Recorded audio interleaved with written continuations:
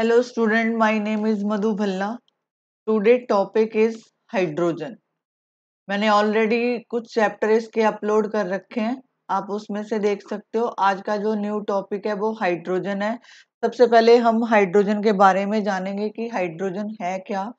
सबसे पहले लिखेंगे हाइड्रोजन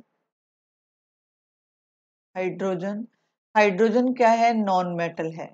फ़र्स्ट प्रॉपर्टीज़ की क्या है? This is a non metal ठीक है? उसके बाद क्या है कि ये लाइटेस्ट एलिमेंट है। अगर आपको पूछा जाए कि लाइटेस्ट एलिमेंट का नाम बताओ तो आप क्या लिखोगे? हाइड्रोजन लाइटेस्ट एलिमेंट ठीक है?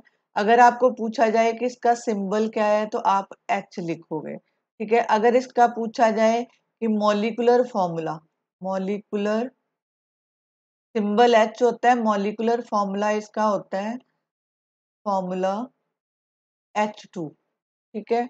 और अगर इसकी एटोमिसिटी पूछा जाए एटोमिसिटी एटोमिसिटी हाइड्रोजन देखो हाइड्रोजन का मॉलिकुलर फॉर्मूला एच टू है तो इसकी जो एटोमिसिटी होएगी वो टू होएगी। अगर यहाँ पे ऐसे होता तो आप वाटर का फॉर्मूला होता तो आपको पूछा जाता कि इसकी एटोमिसिटी बताओ हाइड्रोजन कितनी है टू ऑक्सीजन कितनी है वन दोनों को प्लस करते तो ये वाटर की एटोमोसिटी होती है। लेकिन हाइड्रोजन की एटोमोसिटी कितनी है? टू अब अगर पूछा जाए कि ये नाम किसने दिया था तो एंटोन एंटोनी लेविशियर लेविशियर ये इंपॉर्टेंट टर्म है वन वन मार्क्स जो है कवर होंगे इसमें। और आपको अगर पूछा जाए कि ये ड्राइव किसने किया था derived from derived from hydro hydrogenes hydro का मतलब होता है इतना। हाइड्रो का मतलब होता है वाटर और जीनस का मतलब होता है प्रोड्यूसर अगर आपको पूछा जाए कि वाटर प्रोड्यूसर गैस कौन सी है? वाटर प्रोड्यूसर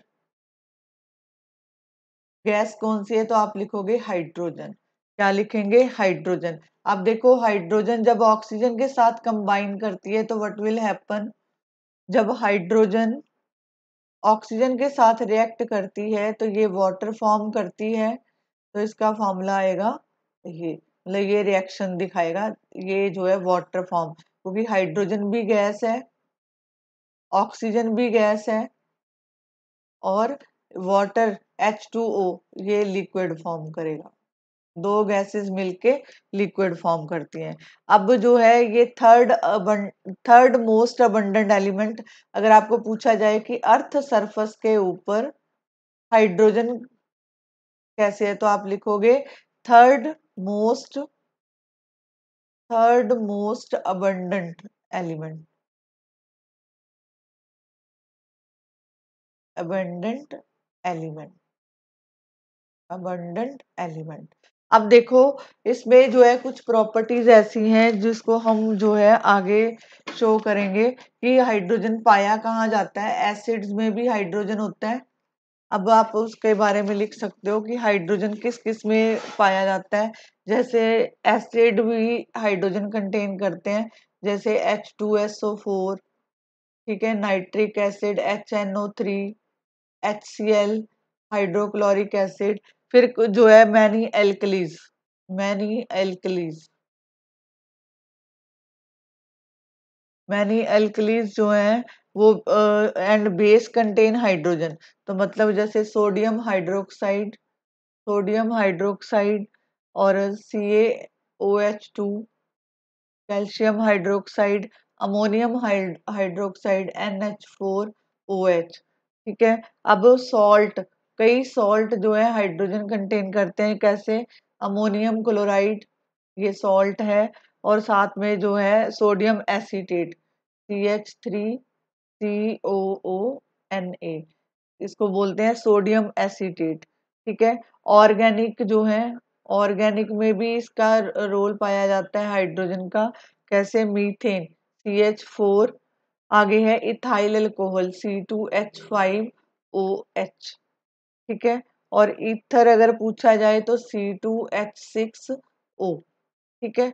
अब जो है लेबोरेटरी प्रेपरेशन देखते हैं हाइड्रोजन की। Preparation of preparation preparation of hydrogen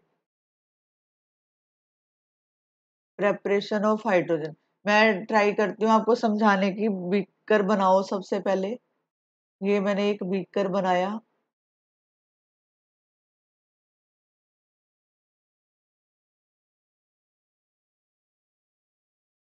इसमें दो इलेक्ट्रोड्स लगाएँगे।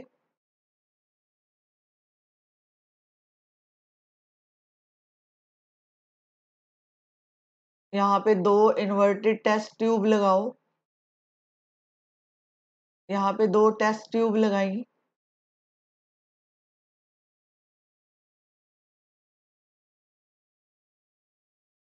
मैं रफली बना रही हूँ, आप अपनी बुक में देख सकते हो। यहाँ पे ये जो है इलेक्ट्रोड्स हैं, ठीक है? ये जो है इसको बाद में जो है बैटरी के साथ जोड़ा जाएगा। यहाँ पे वायर्स हैं, इसको यहाँ पे जो एक बैटरी के साथ कनेक्ट किया गया। बैटरी जो है सिक्स वोल्ट बैटरी है, यहाँ पे कनेक्ट किया गया। यहाँ पे एक स्विच लगाएँगे, ये स्विच है और यहाँ पे ये जो है एनोड है।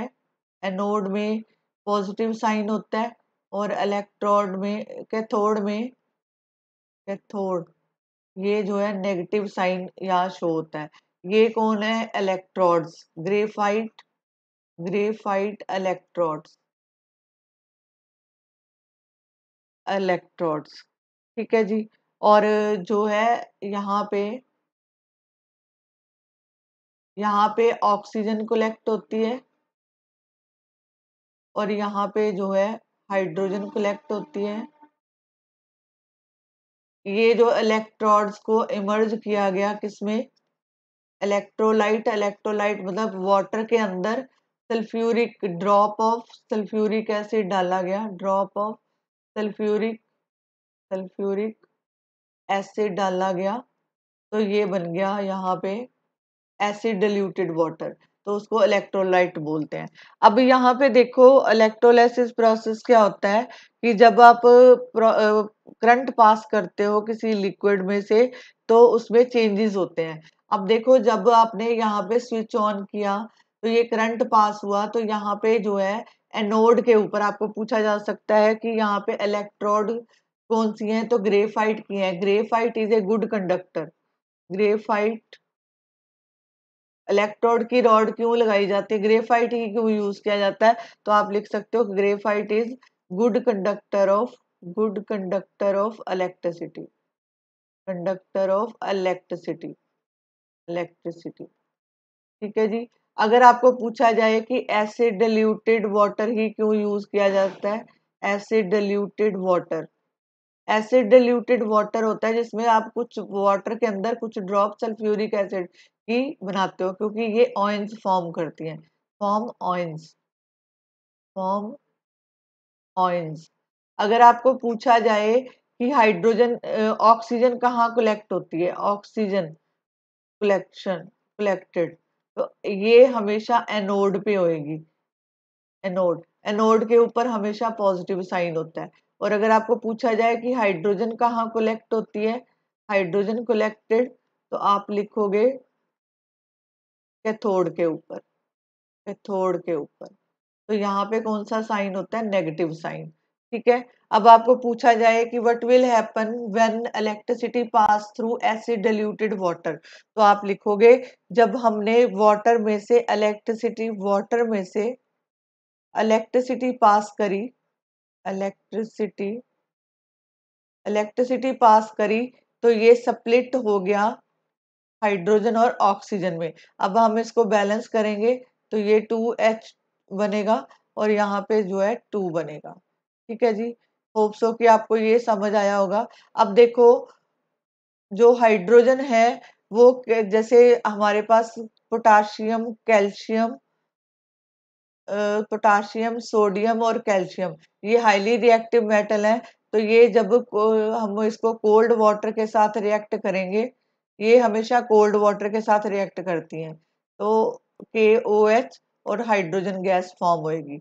इसी तरह सोडियम है सोडियम जब वाटर के साथ रिएक्ट करेगा तो ये सोडियम हाइड्रोक्साइड फॉर्म करेगा और साथ में वाटर फॉर्म करेगा। इसी तरह कैल्शियम जब वो कोल्ड वाटर के साथ रिएक्ट करेगा तो ये कैल्शियम हाइड्रोक्साइड बनाएगा और साथ में वाटर फॉर्म करेगा। ठीक है जी? अब देखो, ये वाली जो तीनों मेटल है, वो किससे रिएक्ट होती है? कोल्ड वाटर के साथ रिएक्ट करती हैं। ठीक है, और हाइड्रोजन गैस फॉर्म करती है। इसी तरह मैग्नीशियम है। मैग्नीशियम जब वाटर के साथ रिएक्ट करेगी, ये हॉट वाटर के साथ रिएक्ट करती है। पानी को गर्म करना पड़ता है। हॉट वाटर होगा तो ही रिएक्ट करेंगी। तो ये मैग्नीशियम हाइड्रोक्साइड बनाएँगी और साथ में हाइड्रोजन गैस प्रोड्यूस करेंगी। इसी तरह जिंक जिंक जब रिएक्ट करेगी जिंक हॉट वाटर के साथ रिएक्ट नहीं करती, ये स्टीम के साथ रिएक्ट करती है। जिंक जो है स्टीम के साथ रिएक्ट करेगी। जब स्टीम के साथ रिएक्ट करेगी तो जिंक ऑक्साइड बनेगा, साथ में हाइड्रोजन बनेगा। इसी तरह एल्यूमिनियम है। एल्यूमिनियम जब वाटर के साथ रिएक्ट करेगी, ये भी हॉट वाटर है हॉट वाटर के साथ रिएक्ट करेगी तो ये बनाएगा एल्यूमिनियम ऑक्साइड और साथ में हाइड्रोजन जो है, और आप इसको बैलेंस कर सकते हो। तो ये मैंने बैलेंस कर दिया। अब आयरन को जब हम रिएक्ट करेंगे स्टीम के साथ तो ये रिएक्शन आएगा। F E three O H plus four hydrogen तो एफ़ ई थ्री से होता है ferro ferric acid oxide ferric oxide अब देखो हाइड्रोजन और कैसे फॉर्म होता है? Preparation of hydrogen from acid अब अगर एसिड्स हो हमारे पास एसिड्स हो तो हाइड्रोजन कैसे फॉर्म होगा? मैग्नीशियम को जब आप हाइड्रोक्लोरिक डिल्यूटेड हाइड्रोक्लोरिक एसिड के साथ जो है रिएक्ट करोगे तो ये मैग्नीशियम क्लोराइड बनाएगा, साथ में हाइड्रोजन गैस बनाएगा। इसी तरह जिंक जब हाइड्रोक्लोरिक एसिड के साथ हाइड्रोक्लोरिक कॉन्सेंट्रेटेड नहीं लेना डिल्यूटेड लेना है। तो यहाँ पे जिंक क्लोराइड बनाएगा और साथ में हाइड्रोजन गैस जो है फॉर्म होगी ये कब होगा? जब ऑक्सीजन जो है रिएक्ट करेगी। ठीक है जी? अगर मैं एक रिएक्शन और लिख देती हूँ, इतना सफिशियंट है मैग्नीशियम को, जब आप सल्फ्यूरिक एसिड के साथ रिएक्ट करोगे, ये भी डिल्यूटेड लेना है तो ये मैग्नीशियम सल्फेट बनाएगा। और हाइड्रोजन जो है अलग हो जाएगी। इसी तरह एल्कली के साथ इसका क्या रिएक्शन है? एल्कली के साथ जिंक जब जिंक जब सोडियम हाइड्रोक्साइड के साथ रिएक्ट करेगा तो ये सोडियम जिंकेट बनाएगा। Na2 बनेगा। Na2 जिंकेट प्लस हाइड्रोजन इसी तरह एल्यूमिनियम जब रिएक्ट करेगा plus sodium hydroxide, plus water तो ये बनाएगा sodium aluminate two N A L two, A L O two plus three H two. ये हाइड्रोजन गैस फॉर्म करेगा। अब लेबोरेटरी प्रेपरेशन होती है। लेबोरेटरी प्रेपरेशन में क्या होता है कि जिंक ग्रैनुअल लिए जाते हैं। जिंक यहाँ पे आएगा जिंक ग्रेनुअल। ग्रैनुअल। को जब आप डिल्यूटेड सल्फ्यूरिक एसिड के साथ रिएक्ट कराते हो तो ये जिंक सल्फेट बनाता है और साथ में हाइड्रोजन गैस फॉर्म करता है। अब इसमें पूछा जा सकता है आपको कि जिंक ग्रेनुअल ही क्यों यूज़ किए जाते हैं? कि why zinc granule is use why zinc granule granule is use क्यों यूज़ किए जाते हैं? तो आप इसमें लिखोगे, क्योंकि दे कंटेन, इसका आंसर लिखो, they contain they contain copper, ये कॉपर कंटेन करता है एज एन इम्प्योरिटी उसमें जो है एज एन इम्प्योरिटी इम्प्योरिटी की फॉर्म में होता है ये। ठीक है? और साथ में which act as which act as catalyst which act as catalyst ये कैटलिस्ट का काम करता है। कैटलिस्ट मतलब रेट ऑफ़ रिएक्शन बढ़ा देता है। And reaction is faster reaction is faster तो रिएक्शन को फास्ट कर देता है। ठीक है? और अगर आप प्योर जिंक यूज़ करते हो प्योर जिंक यूज़ करते हो? जिंक इज़ यूज़ यूज़ तो रिएक्शन इज़ स्लो तो रिएक्शन जो है स्लो हो जाता है. तो इसलिए जो है प्योर जिंक का यूज़ नहीं किया जाता. यहाँ पे जिंक ग्रेनुअल का यूज़ किया जाता है, क्योंकि जिंक ग्रेनुअल में copper as an impurity present होता है और ये एक कैटालिस्ट का काम करता है. कैटालिस्ट का मतलब होता है कि ये रिएक्शन रेट ऑफ़ रिएक्शन को इंक्रीज कर देता है और रिएक्शन जो स्लो था वो फास्ट हो जाता है। लेकिन अगर उस, आप जिंक ग्रेनुअल की जगह प्योर जिंक यूज़ करते हो तो ये रिएक्शन को स्लो कर देता है। इसलिए इसको यूज़ नहीं किया जाता। प्योर जिंक को एज सिर्फ़ जिंक ग्रेनुअल यूज़ किए जाते हैं लेबोरेटरी प्रेपरेशन में। ठीक है? होप सो कि आपको इतना वीडियो पसंद आएगा। इसका सेकंड पार्ट मैं दोबारा अपलोड करूँगी। तब तक आप इस वीडियो को समझो और आपकी बुक में जितना था वो मैंने आपको करवा दिया। आप ध्यान से इसको रिवाइज करो और इसी तरह के आपसे क्वेश्चन पूछे जाते हैं। ठीक है जी? अगर आपको मेरा वीडियो पसंद आया वीडियो को लाइक करो शेयर करो चैनल को सब्सक्राइब करो। Thank you very much